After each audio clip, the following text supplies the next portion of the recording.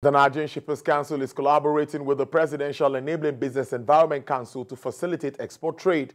An interagency meeting with stakeholders explored how actionable procedures could be implemented to drastically reduce Nigeria's export process processing timelines. Ifunanya Eze has more.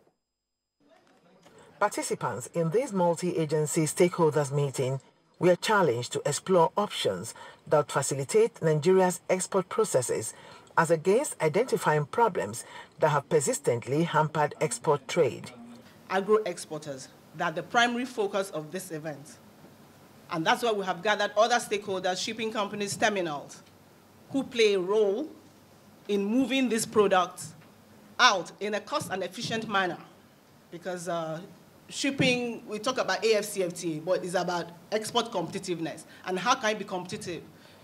You cannot be competitive if the challenges are so numerous, bottlenecks, charges, that would not allow you to export in a timely and efficient manner.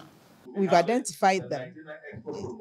It's now for us to aggregate these challenges and then address them. Because it's not just the tariff, there's also the process for getting these goods outside the country. Now, each one of each each government agency represented here will now need to go back and look at their processes. A paper presentation on best practices in export trade highlighted the importance of seamless export of Nigerian agricultural commodities. When MDAs put all the requirements on the website, please do well to have all those requirements met before you submit.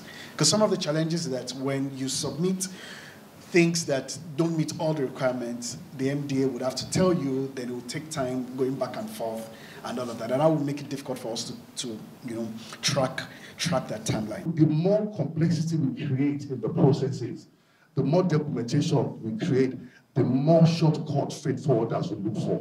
There was a general consensus among the speakers that a clear strategic plan will be necessary to ensure a workable framework for boosting the nation's productivity. All of us must come together and see how are we going to remove the obstacles to trade. How, how do we remove the number of uh, the time to export, you know, at our port to the sub-Saharan average? They emphasized that to identify innovative solutions to address trade barriers, aggressive actions are needed to drive the process. Ifunanya Eze, TVC News, Lagos.